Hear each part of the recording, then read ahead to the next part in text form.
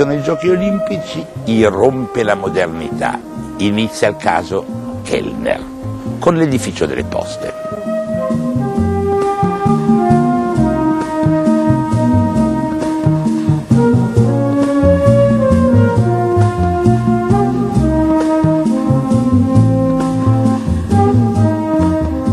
La cittadina storica di Cortina si adegua alla modernità dell'epoca.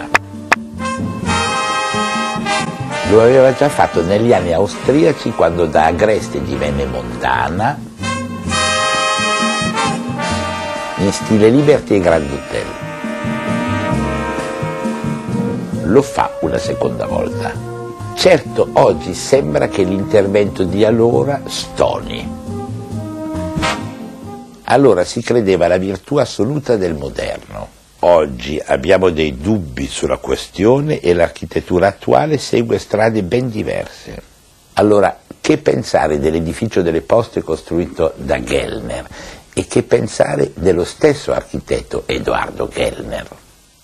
Edoardo Gellner è un triestino che nasce cent'anni fa nel 1909, figlio di un pittore di insegne che con gli anni diventa arrendatore di negozi lavora col padre e poi se ne va a studiare a Vienna alla scuola di arti decorative.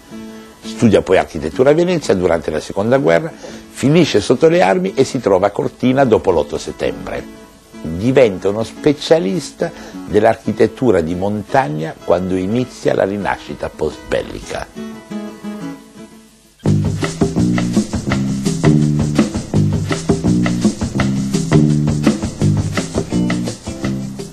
Molto interessante la mostra che gli hanno dedicato a Cortina, perché apre sostanzialmente la questione alla radice. Questa è una rappresentazione di alcuni pezzi della sua casa, il disegno che rappresenta i suoi interni e il modellino della sua casa. Siamo negli anni 50 del XX secolo, mezzo secolo fa. Se noi riguardiamo oggi la casa e ce la immaginiamo posta in un ambiente montano, ci sembra in un qualche modo distonica o comunque ci appare come una cosa per un certo verso obsoleta. Se guardo invece la sdraio, la poltroncina di casa, oppure se guardo il tappeto di casa, ci sembrano totalmente contemporanei.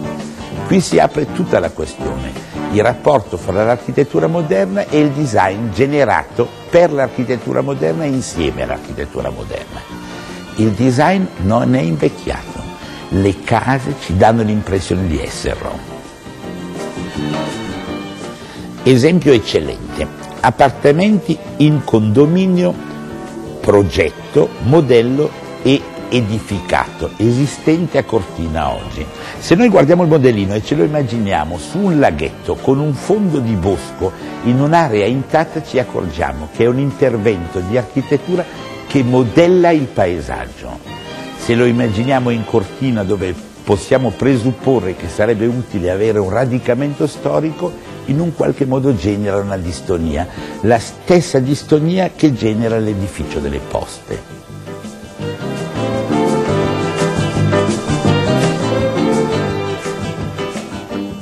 Prendiamo i mobili. Questo gruppo di sgabelli che riesce a comporsi un po' come un gioco e ha l'immagine di una macchina d'allora, come se fossero possibili movimenti rotatori di uno sgabello sull'altro, è geniale e ci appare ancora oggi perfettamente contemporaneo. Sedie moderne che riprendono la vecchia tradizione germanica dei piedi infilati nella seduta, infatti si vede qui il loro punto di inserimento, gradevolissimi. Sopra tavolo basso, ripiegato, perché se si aprono le gambe in là diventa un lunghissimo tavolo da pranzo. Oggetti dove la tradizione viene quasi cancellata, comunque viene radicalmente metabolizzata e dove si immagina una modernità totalmente vivibile con i materiali di sempre si dà già qua metà della risposta alla questione. Il legno è invecchiato senza vergogna perché nasce per invecchiare. I cementi armati, ai quali si credeva come dato perenne, si sono invece lasciati distruggere dal tempo. La differenza fra design di interni e architettura sta nelle due diverse velocità di obsolescenza, o meglio ancora nella capacità di assumere patine. E l'altra differenza sta in questo parametro curioso, cioè nel concetto stesso di modernità e di contemporaneità. Per chi ha studiato in Germania allora la contemporaneità si chiama Zeitgenossigkeit, cioè essere compagni del proprio tempo e essere convinti che quel tempo riparte da zero e inventerà un futuro che deve rinunciare al passato. Lui al moderno inteso come contemporaneo assoluto ci crede esattamente come ci crede Walter Gropius, Miss Van der Rohe e i suoi colleghi del Nord. La risposta la dà questo plastico. Questo tipo di concetto della contemporaneità prevede il totalitarismo come scelta politica. Inventa il paesaggio ex novo. Questo è il progetto del villaggio voluto ex novo a Borca di Cadore. Si chiama Corte di Cadore in omaggio a Corte Maggiore, il luogo di rinascita dell'Agip, e fu voluto da Enrico Mattei. Eccoli qua, gli spazi comuni mai realizzati. La chiesa invece che fu edificata, l'albergo e le case singole che sono tuttora in uso. Si tratta di un progetto che a differenza delle poste di Cortina nasce a tabula rasa, non si deve confrontare con il passato, pensa solo al suo inserimento nella natura e ci riesce perfettamente bene. È trascorso mezzo secolo da allora. Si cammina fra i sentieri che si sono inseriti nella natura e si scopre un piccolo miracolo progettuale che non offende l'ambiente, anzi lo esalta.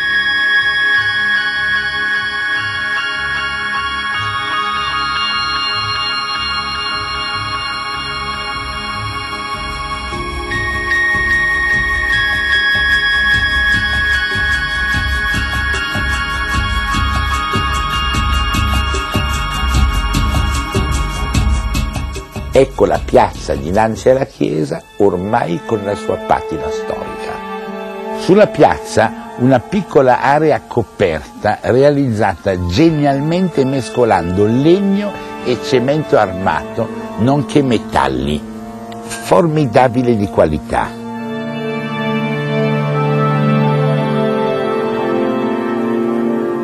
Con quel gusto del disegno che allora regna nell'area veneta e di cui Scarpa è un altro esempio eccellente. E qui arrivo allo statuone in onore ad Enrico Mattei, un'ottima scultura firmata da Francesco Messina quando era al massimo della notorietà, un grande busto per un grande uomo. L'uomo che lo Spiegel definì allora l'italiano più potente dopo Cesare Augusto però l'uomo che inventò qua una sorta di utopia sociale incredibilmente interessante. Enrico Mattei rimarrà nel patrimonio eh, dei grandi italiani, diciamo pure così, e non invecchierà. Insomma, ne nascono uno, due ogni due secoli, secondo me.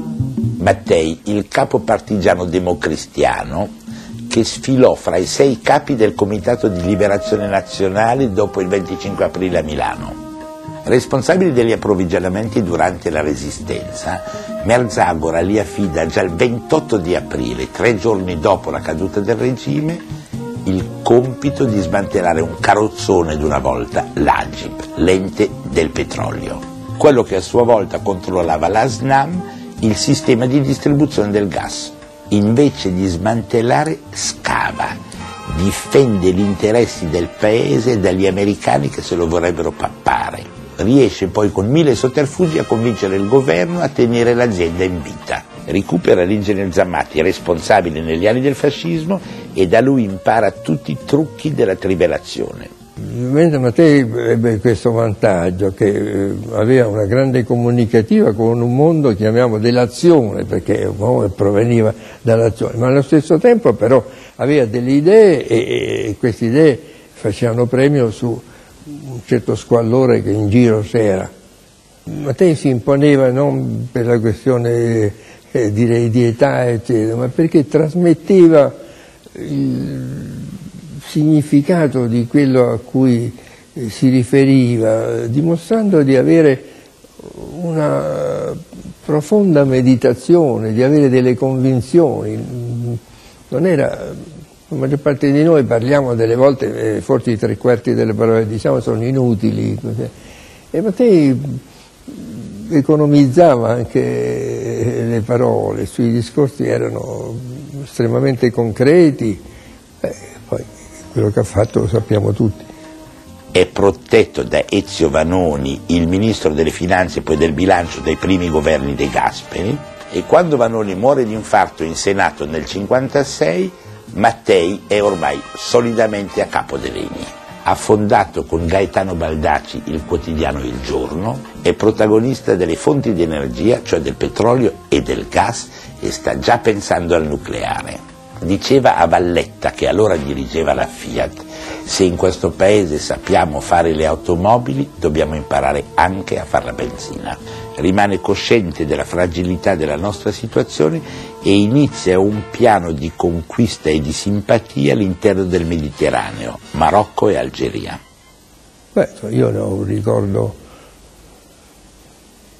posso poi dire, insomma, quando morì Vanoni, eh, anche raccontava, quel giorno stesso lui venne a trovare e mi disse guarda io sono un cane e ho bisogno di un padrone, il mio padrone è morto, vuoi diventare il mio padrone, testuale. Io gli dissi guarda io non ho mai avuto esperienza di cani, da bambino avevo un gatto, eccetera. tu però puoi stare sicuro che qualunque iniziativa tu prendi che eh, sia valida, eh, tu avrai l'appoggio mio, ma penso anche degli altri. Quindi, mi colpì molto quel giorno stesso, insomma, la morte di Vanoni. Ecco come la racconta lui. Una ventina di anni fa ero un buon cacciatore e andavo molto spesso a caccia. Avevo due cani, un bracco tedesco e un setter e cominciando all'alba e finendo a sera, su e giù per i canaloni, i cani erano stanchissimi. Ritornando a casa dai contadini, la prima cosa che facevamo era dar da mangiare ai cani e le veniva dato un catino di zuppa che forse bastava per cinque. Una volta vidi entrare un piccolo gattino, così magro, affamato e debole, aveva una gran paura e si avvicinò piano piano. Guardò ancora i cani, fece un miagolio e appoggiò una zampina a bordo del cattino. Il bracco tedesco gli dette un colpo lanciando il gattino a tre o quattro metri con la spina dorsale rotta. Questo esempio mi fece molta impressione. Ecco, noi siamo stati il gattino per i primi anni. Un anno dopo, il 27 ottobre del 1962, fu lui, Mattei, a fare la fine del gattino quando il suo aereo fu fatto esplodere. Ecco cosa ne dice Giorgio Bocca, partigiano anche lui e cresciuto come giornalista al giorno. Che cosa era Enrico Mattei? Un avventuriero? Un grande patriota? Uno di quegli italiani imprendibili, indefinibili, che sanno entrare in tutte le parti, capaci di grandissimo charme come di grandissimo furore, generosi, ma con una memoria di elefante per le offese subite, abili nell'usare il denaro, ma quasi senza toccarlo, sopra le parti, ma capaci di usarle, cinici, ma per un grande disegno. Per noi, specialmente della mia generazione, l'abbinata Mattei Vanoni è una specie di simbolo eh, di un progresso effettivo e anche di una comprensione che i problemi economici non sono problemi tecnici, ma sono problemi politici, umani. Sempre nell'esaltazione di un razionalismo che doveva essere la risposta della modernità agli anni del fascismo che si erano appena abbandonati e dove i materiali vanno sempre d'accordo fra di loro. La scala è di granito e di legno. E gli equilibri incredibili.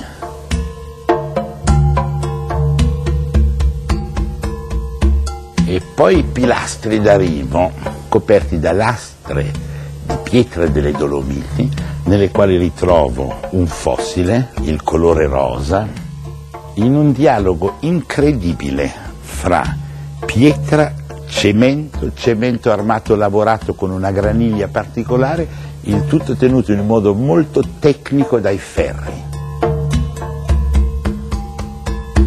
Questo granito trentino che si chiama porfido perché assomiglia a quello imperiale, posato su una struttura di cemento armato lavorato in brutalismo. Quel dialogo appassionato fra materiali naturali e materiali originari che si attribuisce solitamente a Carlo Scarpa. Gioco dei dettagli che continua qui dove i legni vengono tagliati esattamente come le basi di colonne per i decori antichi di epoca dugentesca e si riportano invece con la forma della croce, con ancora una volta i ferri e i legni suddivisi anche qui con un gusto che sembrerebbe essere quello scarpiano e che ritrovo anche nella griglia ma attenzione, lui qui lavora con Scarpa e nasce fra di loro quella simbiosi che ha un'origine particolarmente significativa.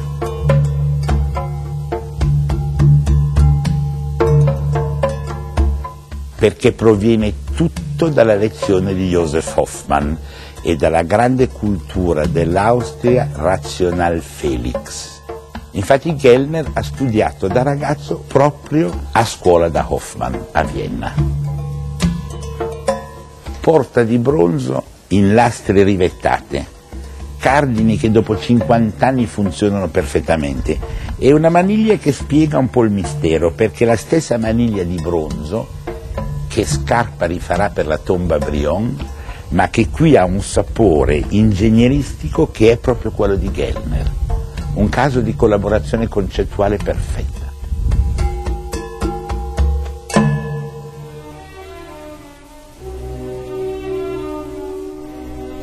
All'interno l'unico elemento di colore è quello dei lampadari veneziani, arancioni e verdi, colori questi della natura esterna. E come diceva Kellner, per capire se una chiesa è veramente una chiesa, Basta nascondere l'altare e guardare in su. Se rimane mistica è una vera chiesa.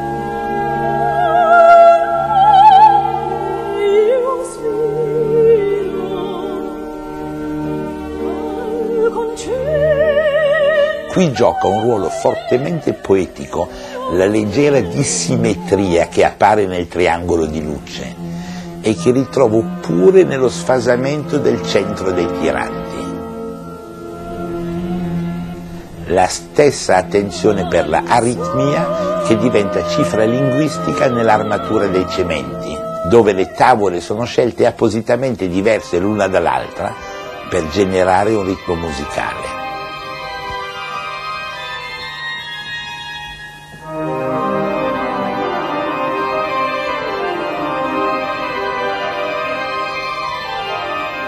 I banchi sono proprio Carlo Scarpa, con tutta la sua passione per l'intreccio dei legni e l'incastro.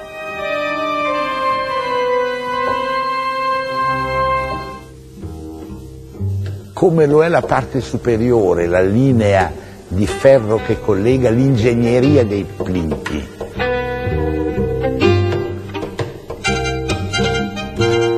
In cambio la forza architettonica del cemento brutalista è di nuovo quello del Gellner una collaborazione formidabile.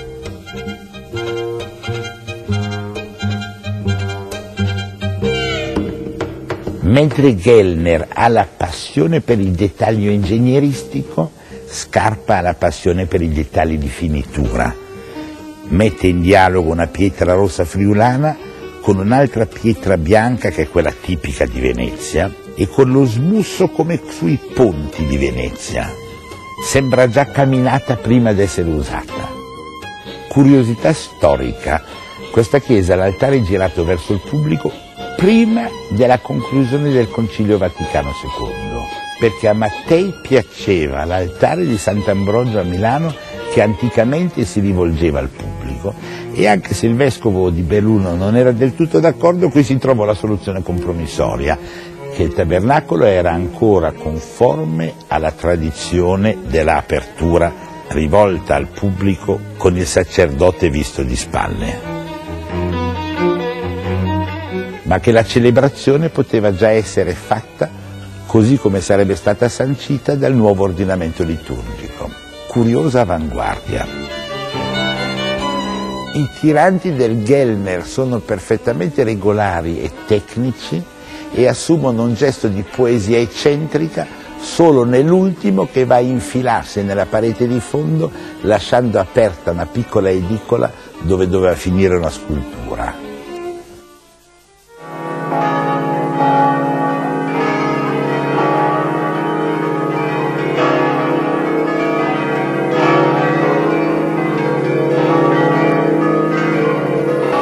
Quando si tratta di costruire e di finire l'albergo, Mattei è già morto. I fondi cominciano a scarseggiare perché l'utopia non piace più così tanto a Eni e il lavoro definitivo sarà legato ad una ipotesi convinta di frugalità architettonica. Il legno sarà larice, allora era chiaro, oggi è scuro, il cemento viene usato a sua volta come se fosse materiale ligneo. L'incrocio fra i plinti e le colonie di sostegno è esattamente come l'incrocio dei legni. Il disegno si fa ancora più ingegneristico. All'interno si articolano alcune soluzioni di grande intelligenza. La grande trave di sostegno che poggia sui doppi elementi di ferro ad H poggia su tre travi banali di abete leggermente distanziate da tassellini regolari e abitate l'una sull'altra con le superbrugole, il tutto con una chiave di tenuta che poggia su un monaco centrale. Mentre il soffitto molto elegante oggi è fatto con le tavole di recupero, quelle che erano servite ad armare il cemento armato. Diverse l'una dall'altra e proprio per queste particolarmente poetiche oggi. E lo stesso gusto elegante degli equilibri lo ritrovo nel bar, con un bancone tutto ferro e legno, dove il ferro serve anche da poggiapiede e dove i seggioloni alti per il bar riprendono molte delle lezioni delicate di scarpa. L'esterno, pietra, legno, cemento armato e le coperture classiche in rame del cadore. Ogni dettaglio curato e disegnato, le stalactiti e le stalagmiti di legno comprese,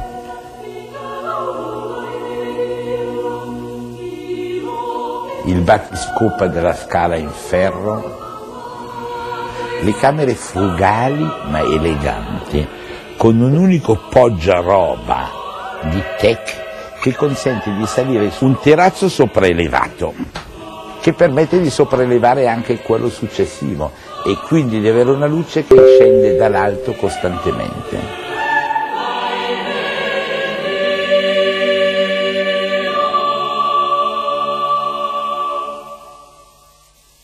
Ma per noi oggi sensibili all'ambiente, la parte più interessante rimane quella dei villini. Gellner ottiene da Mattei un permesso particolare, d'avanguardia, quello di sotterrare tutti gli impianti elettrici in modo da non avere pali che disturbano la vista del Monte Pelmo.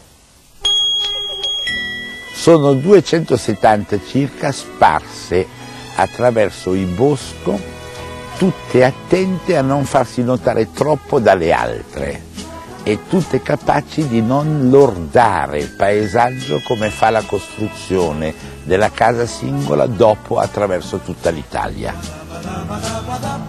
Sono costruite in un abile dialogo fra elementi prefabbricati e elementi radicati sul suolo, ma un po' come se costruite su palafitte in modo da non coinvolgere le questioni relative alla tenuta di questo suolo, essendo tutte su un gaione. Gioca sempre un ruolo fondamentale e decorativo il cemento brutalista, dove i cassoni di armatura sono fatti con dei legni talmente diversi l'uno dall'altro da far nascere una sorta di allegro disegno. Sono prefabbricati gli elementi di sostegno del tetto e il complesso gioca sulla forte luminosità delle grandi vetrate esterne che fanno da contrappeso alle finestrine. Attenzione, la vera architettura sta nei dettagli e qui sono nella zona pattumiera. La zona pattumiera aveva una sua indicazione con il numero delle ville corrispondenti e il bidone di riferimento. Il bidone di riferimento era particolarmente ben disegnato e più forte ancora il contrasto se lo guardiamo lui antico rispetto ai plasticoni colorati della differenziata d'oggi. Modello più grande per dirigente di alto grado che ha diritto anche a uno spazio per l'autista, mentre i piloni alti non sono affatto dovuti al suo grado, ma al fatto che la casa posta su un declivio vuole comunque essere a piano unico. Il modello base prevede un piccolo garage nell'ingresso. Attenzione, piccolo garage, allora l'Italia stava comprando la Fiat 600, la macchina piccola, oggi un macchinone c'entrerebbe difficilmente. E poi si sale in casa, d'inverno quando fuori fa freddo. La casa piccola, poco più di 60 metri quadri, prevede già però i due bagni uno accanto all'altro, i colori azzeccati che dialogano col legno, le due camere da letto,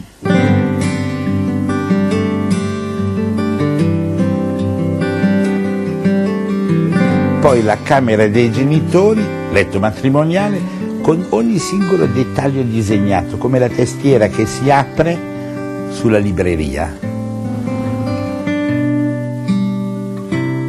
Toilette minima perfettamente disegnata e armadi corrispondenti. Soggiorno perfettamente attrezzato che dà su cucinotto confortevole, su annesso spazio living con piccolo lettino in aggiunta, ospite inatteso, scrivania altrettanto elegante della toilette della camera da letto e ovviamente la stua.